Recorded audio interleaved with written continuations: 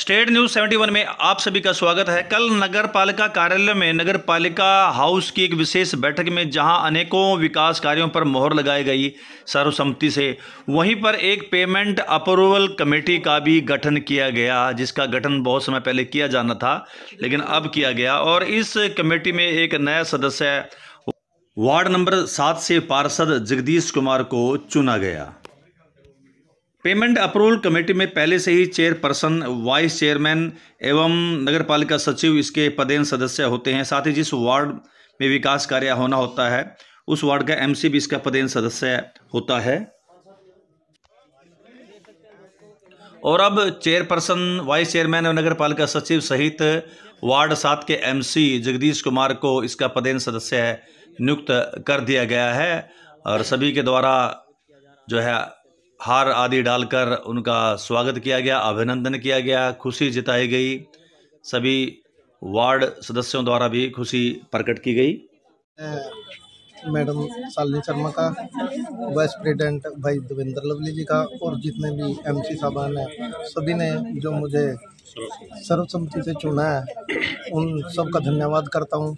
और जो भी मेरे लिए काम होगा, मैं उसको दिन रात करने के लिए तैयार हूँ। धन्यवाद। धन्यवाद। सबसे पहले तो आप सब आपके चैनल के माध्यम से मैं सभी सढोरा वासियों को नमस्कार करना चाहती हूँ और मैं ये बताना चाहती हूँ कि पेमेंट अप्रूवल कमेटी ये एक कमेटी है जिसका गठन किया गया है। उसमें वाइस चेयरमैन जी और आ, हमारे सेक्रेटरी साहब और मैं हम तीन और जो जिस वार्ड मेंबर के वार्ड में कार्य हो रहा है वो वो चार तो ऑलरेडी मेंबर थे लेकिन एक पाँचवा मेंबर जो है हमारे हाउस ने सर्वसहमति से जगदीश प्रधान जी वार्ड नंबर सात से चुने हैं। इसके लिए मैं अपने वार्ड मेंबर का और सबका बहुत बहुत तहे दिल से धन्यवाद करना चाहती हूँ कि जिन्होंने सर्वसहमति से चुना है और एक भाईचारे का संदेश दिया है।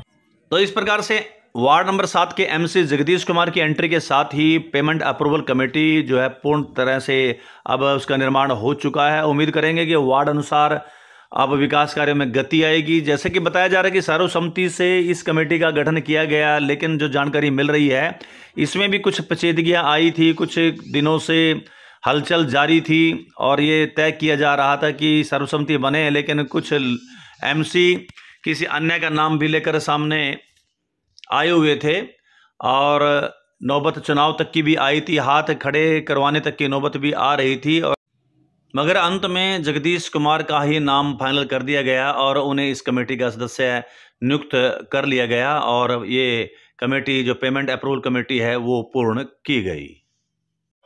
समस्त सढ़ोरा वासियों की अब नज़रें चेयरपर्सन, वाइस चेयरमैन, पूरी टीम, सभी पार्षदों पर है कि वो विकास कार्य किस प्रकार से अब सढ़ोरा में करवाते हैं। पूरी टीमों का गठन हो चुका है।